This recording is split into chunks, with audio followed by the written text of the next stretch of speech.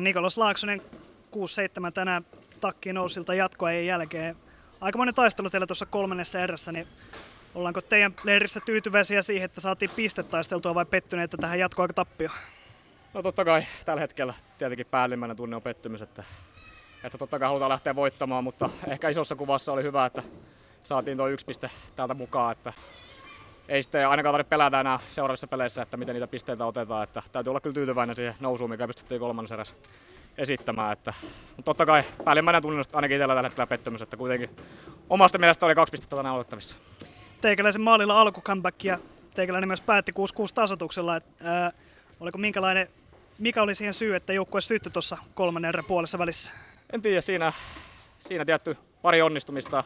Itselläkin neljäs peli ja vasta eka maali tästä tähän matsiin, että vähän ollut siellä apina, että meillä on ollut vaan tietyt pelaajat, jotka onnistunut saamaan pallon verkon perukoilla ja nyt kun sai jotkut muutkin kuin Ollegaina ja Kauppinen, niin tota, ehkä se sitten sytytti joukkuetta ja oli aika monen palopuhe Steforsilta ja Silenilta tuossa kopissa tuossa tokalla erätauolla, niin ehkä sekin vähän herätteli sitten tuohon vikaerään. Seuraavaksi teillä Westen Indias vieraissa vastassa, niin mitä lähdetään, lähdetäänkö samalla sykkeellä kautta jatkaa vai pitääkö joukkueen tehdä jotain muutoksia, että saataisiin voitto? Varmasti jotain pitää tietty muuttaa, koska hävittiin, mutta varmaan aika pitkälti samalla yritetään sitten tietty omaa juttua kehittää ja muuta, että Inkkarit on ottanut tosi hyvin kauden, että varmasti tulossa tiukka, tiukka matsi ja siellä pitää taas olla, olla taas napsun parempi, jos sieltä halutaan vaikka esimerkiksi kolme pistettä ottaa. Kiitoksia. Kiitos. Harri Naumanen, tänne mentiin pitkän kaavon kautta 7-6 jatkoaika voitto. Ollaanko Olsi Lierissä tyytyväisiä tähän jatkoaikavoittoon vai pettyneitä siihen, että jatkoajalle mentiin ylipäätään? Totta kai ensimmäinen voitto on aina hyvä, että se tuli sieltä. Saatiin se alta pois, mutta totta kai tässä nyt tuntuu, että se hävitti piste siinä yksettä, niin siinä tuli vähän turhaa annettua kaverille yksi piste mukaan. Otetaan kovan ratkaisun siinä ottelun loppupuolella. Otit ykköskentän kokonaan tuonne Viltin puolelle. Oliko minkälainen, kuinka vaikea ratkaisu ja minkä perusteella tehtiin?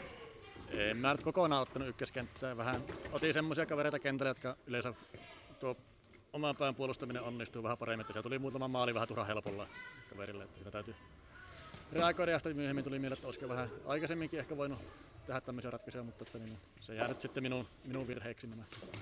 Olsilla jatkuu ensimmäinen kymmenettä SPVtä vastaan, niin lähdetäänkö samalla formaatilla Seinäjokelaisiin vastaan vai pitääkö jonkinlaisia muutoksia tehdä?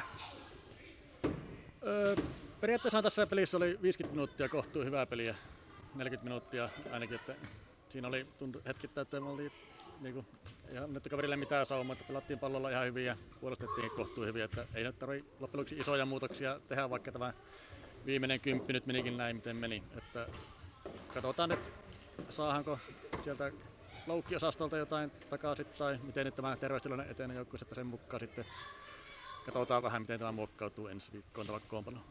Kiitoksia. Kiitos.